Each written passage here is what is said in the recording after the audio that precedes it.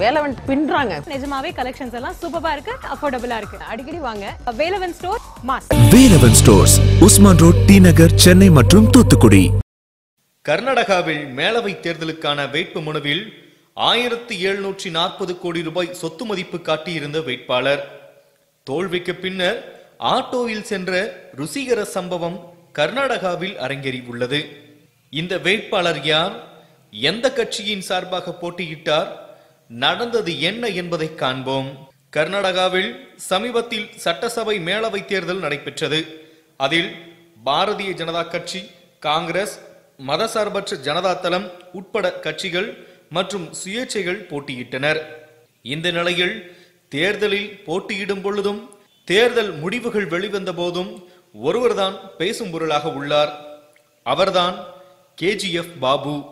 இவரை அவரது தொகுதி மக்கள் செல்லமாக கேஜிஎஃப் பாபு என்று அழைத்தாலும் இவரது பெயர் யூசப் ஷரீஃப்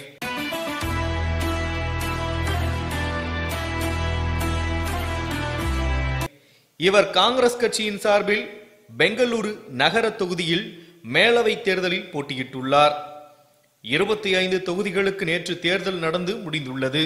முடிவுகள் வெளியாகும் போது பனிரெண்டு இடங்களில் பாரதிய ஜனதா கட்சியும் பதினோரு இடங்களில் காங்கிரசும் மீதமுள்ள இடங்களில் மதச்சார்பற்ற ஜனதா தளம் மற்றும் சுயேட்சைகள் வெற்றி பெற்றுள்ளதாக முடிவுகள் வெளிவந்துள்ளன. இந்த நிலையில் காங்கிரஸ் கட்சி சார்பில் பெங்களூரு நகர தொகுதியில் யூசப் ஷெரீப் போட்டியிட்டு இருந்தார் என்பது குறிப்பிடத்தக்கது. இவர் தேர்தலுக்காக வேட்பு மனு தாக்கல் செய்யும் போது சுமார் ஆயிரத்தி எழுநூற்றி நாற்பத்தி மூன்று கோடி ரூபாய் மதிப்பிலான அசையும் மற்றும் அசையா சொத்துக்கள் உள்ளதாக கணக்கு காட்டியிருந்தார். அப்போது மிகவும் பரபரப்பாகவும் பொதுமக்கள் மத்தியில் அதிகம் பேசப்படும் நபராகவும் இருந்தார் யூசப் ஷெரீப். இந்த நிலையில் நேற்று தேர்தல் முடிவுகள் வெளிவந்த பின்பு தான் தோல்வியுற்றதை அடுத்து மீண்டும் ஒரு பரபரப்பான நிகழ்வு நடைபெற்றுள்ளது. தேர்தல் முடிவுகள் அறிவிக்கப்பட்ட அலுவலகத்தில் இருந்து நடந்து வந்து வெளியில் நின்றிருந்த பயணிகள் ஆட்டோவில் ஏறி பயணம் செய்தார் யூசப் ஷெரீப்.